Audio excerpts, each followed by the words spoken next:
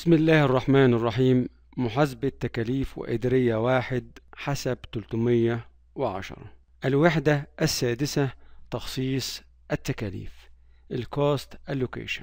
في هذه الوحدة نتناول المحتويات التالية. أنظمة تخصيص التكاليف الصناعية غير المباشرة. النظام التقليدي للتخصيص اللي هو التخصيص حسب المنتجات.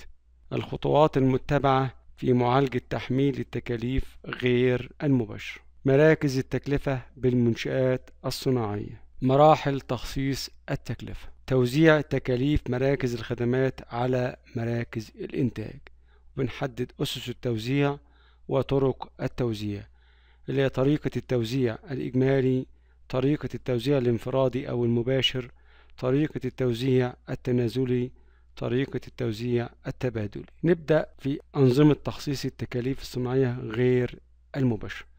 ال factory overhead cost allocation systems يوجد نظامين أساسيين لتخصيص التكاليف بالمنشأة. هما النظام التقليدي للتخصيص Traditional Cost Allocation System ويطلق عليه تخصيص التكاليف حسب المنتجات. النظام الثاني اسمه نظام التكاليف على أساس النشاط Activity Based Costing ال ABC ويطلق عليه تخصيص التكاليف حسب الأنشطة. النظام التقليدي للتخصيص. على افتراض إن إحنا درسنا النظام الحديث نظام ال ABC في وحدة سابقة. فنبدأ النظام التقليدي للتخصيص. Traditional Cost Allocation System بيقوم النظام التقليدي على معدلات التحميل.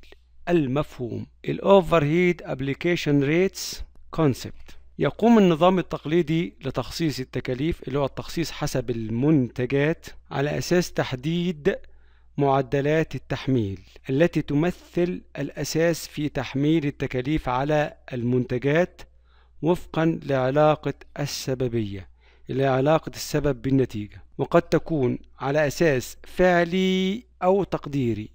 يعني معدلات التحميل ممكن تحسب على أساس فعلي اللي هي التكاليف التي تحدث فعلا أو على أساس تقديري توقعات. فهي تمثل فهي دي عايدة على معدلات التحميل.